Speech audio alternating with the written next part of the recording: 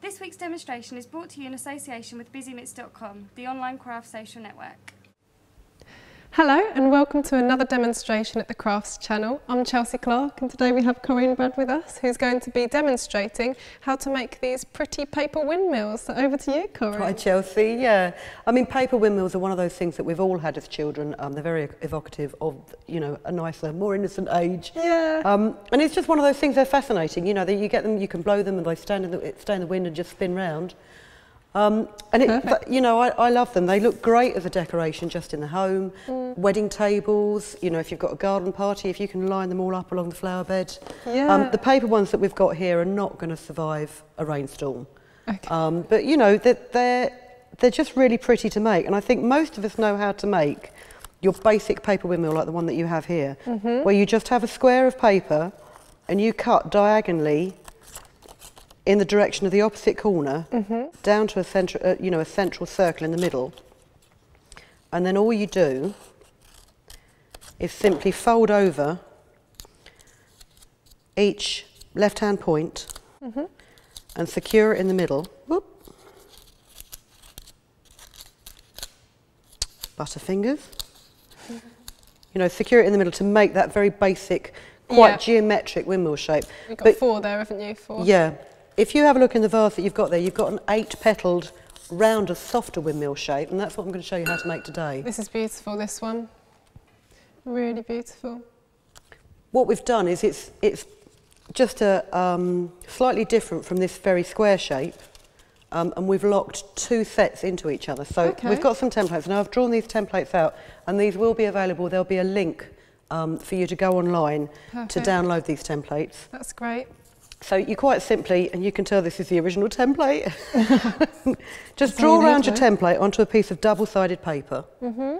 um, there's one I've cut out here, and I'm just going to show you very quickly how to cut it out. When you're drawing around it, um, use a light pencil, but don't forget to mark where you actually need your um, holes to go. Right. Because what you need to do is you need to punch holes in each of the ends of the tips and also the centre of the circle. Yeah joins all together then. Oh, that's really lovely. Let me just cut this. And that will make one this size, will it? No, that will make one slightly smaller. I thought I'd make the smaller one because I thought it might be quicker to cut out, but I could have been lying. You know when you think you've just done all the preparation you possibly could do, and then you just think, mm, I'm just going to have to talk now? No, that's perfect. Is this um, the size that it will eventually be then, yes, smaller one? yeah. But I mean, with the templates, if you download them and you print them out, if you've got a, access to a photocopier or if you've got a scanner where you can, you can enlarge and reduce, mm. you can, you know, make it any size you like. All I would say is the bigger you make it, the more unwieldy it becomes. Right, um, not sturdy. No, well, this, and the other thing is it may droop because these are held on um, with simply a dressmaker's pin, like a pearl-headed dressmaker's pin. Oh, right. Slotted through, um, and it's in a wooden skewer. Okay, Because yeah. it, it, it's one of those, you know, you, when you buy these windmills from the shops, they've got the proper plastic fittings and, it, you know, they blow around perfectly. But it, it took a while to perfect it so that it would spin around without getting caught. Mm, so no, there's actually a couple of pearl beads there as well, which act as washers to keep it spinning well. I can see that. They seem to spin round quite easily. Okay, so we have our two shapes. I'm just going to pop my rubbish on the side here and grab some glue. You only, you only need glue for one thing. Oh, okay. Um, so you've got your two shapes. If you punch your centre hole, this is with a simple hammer punch.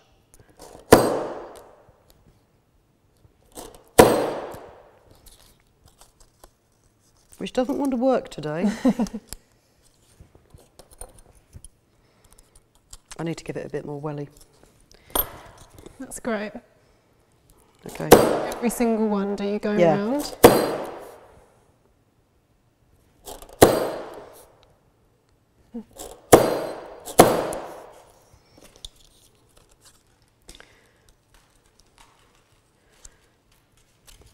Okay. Please excuse me a second while I just do this.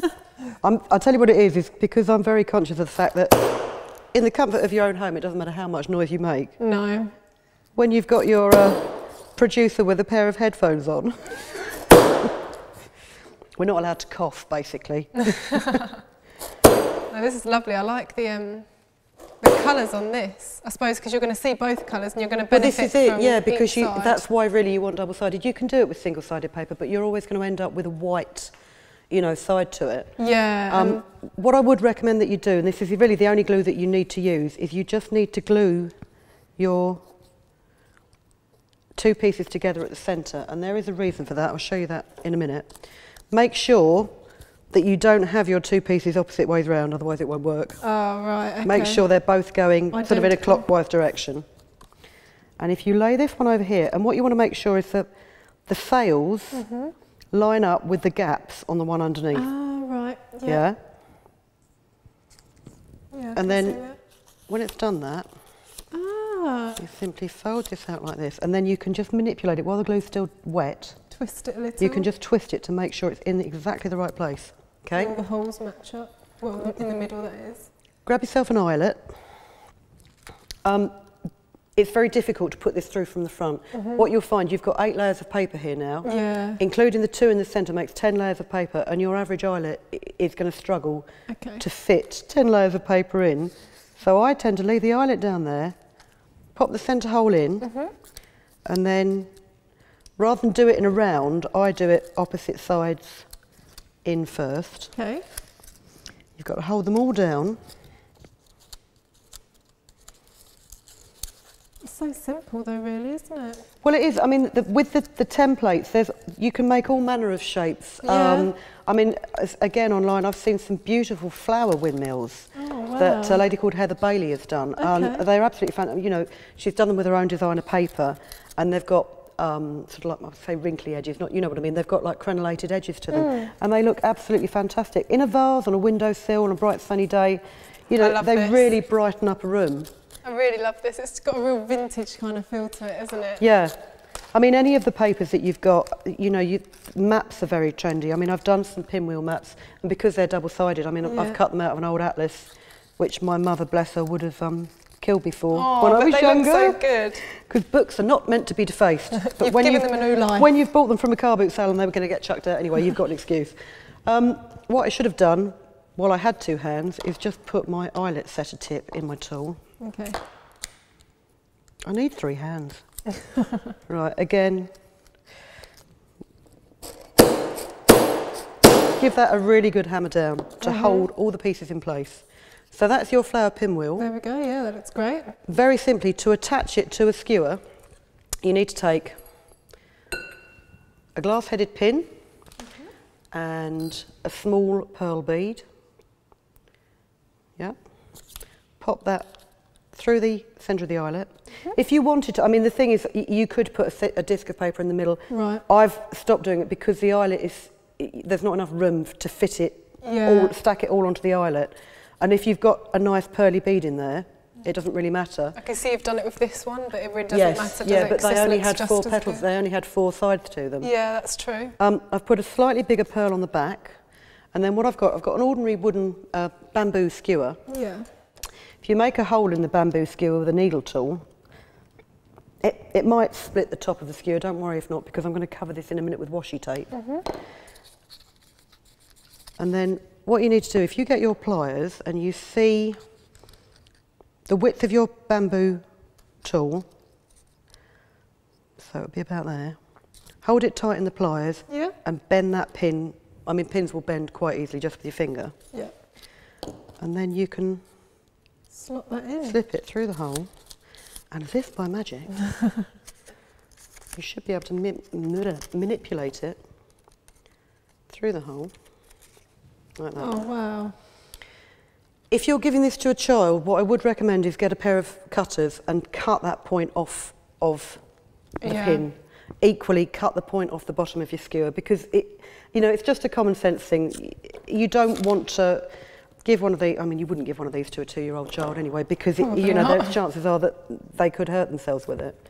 Um, I'm just securing that down with some washi tape. Mm-hmm. Um, and also the other thing I've found as well is, is if you, you can cover the whole stem with washi tape, Yeah. it's actually much quicker than painting it. And the simplest way to do that, I won't cover the whole stem because we haven't really got the time. If you just put your tape on at a really steep angle and then wrap it around. Not overlapping so much either, are No. you? You know, and you can cover the whole skewer with that so it's, it's got a nice finish to it. And then just manipulate that so that it's not Drooping. drooping. Hooray. There you go. Wonderful. Well, thank you so much That's for okay. that, Corinne. And don't forget to subscribe to the Crafts channel for notifications on the latest tutorials and demonstrations. Thanks so much.